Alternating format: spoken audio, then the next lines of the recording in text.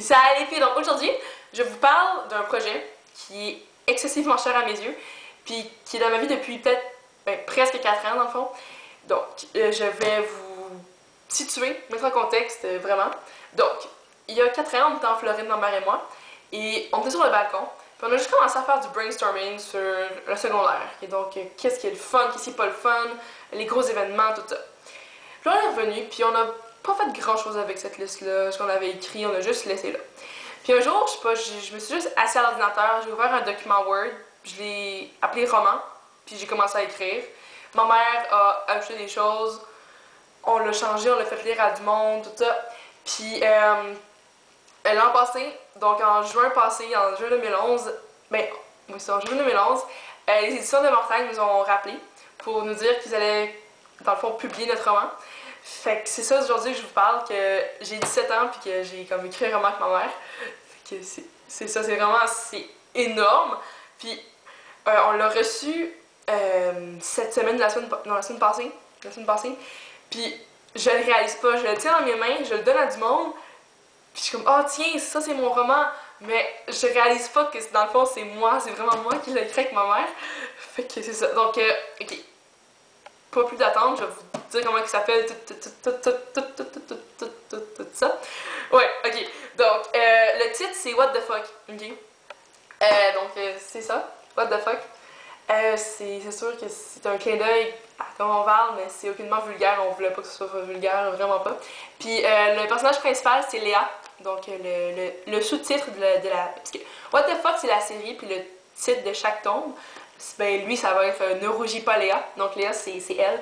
Euh, c'est une fille en secondaire 2.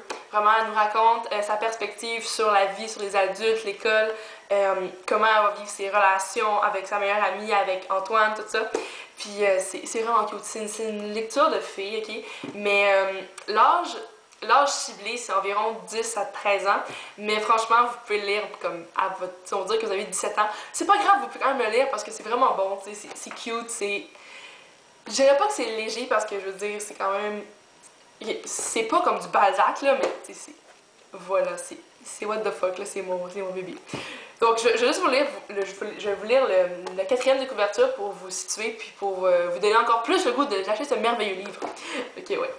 Je suis un peu énervée, ok, parce que c'est mon roman quand même, oh my god. Fait que, ouais, ok, donc. Léa adore sa BFF Lily, New York, son carnet avec des choupinets, l'Halloween, le jour du pâté chinois à la café, les biscuits de Mamie, Lulu, Ouija, faire des listes pour prendre sa vie en main.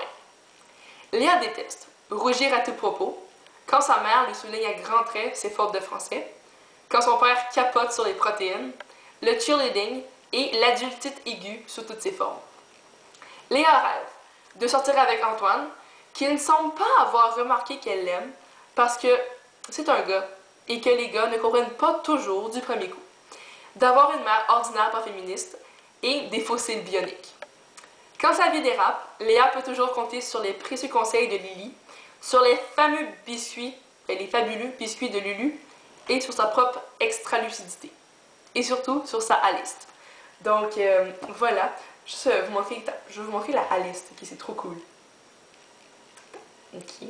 Chaque mois est séparé, genre Ici, il y a comme des petites... Je vais vous trouver le début de mois. Oh, je suis énervée, là. Oh my god. Ok, bon. Par exemple, le mois d'octobre, ça commence par... Où il est question de l'Halloween, de Ouija et de magnétoscope diabolique. Wouhou! c'est ça. Puis, euh, il y a aussi... Vous allez rire, vous allez... C'est cute. Euh, franchement, comme ça, me, ferait, ça me ferait excessivement plaisir si vous... Si vous alliez en librairie juste pour le feuilleter, puis si vous lâchez, ça serait comme je serais trop contente. donc ça c'est la A-list. Vous allez comprendre c'est quoi si vous le lisez. Puis euh, donc voilà, c'est euh, What the fuck. Euh, oh my god, c'est mon livre. C'est comme trop, c'est trop là. c'est dans la collection Génération Filles. Donc c'est une nouvelle collection, c'est pour les jeunes filles justement. Puis voilà, c'est mon livre, que c'est ça. Puis comme, oh my god, j'ai écrit un livre, puis comme, c'est trop mon gueule. Fait que je voulais vraiment partager avec ça, ben, je voulais vous le partager les filles parce que vous comptez vraiment beaucoup pour moi. Puis je sais qu'il y en a qui aiment beaucoup la lecture, parmi vous, puis que euh, si vous l'aimez pas, ben ce livre-là, ça va vous faire aimer la lecture parce que c'est super bon, puis c'est cute, puis ça raconte bien le secondaire quand même, puis tout ce qui arrive, puis euh, ouais, c'est ça. Fait que ça sort bientôt, soit aujourd'hui ou euh, ben, mercredi ou vendredi, quelque part dans ces, euh, dans cette date-là.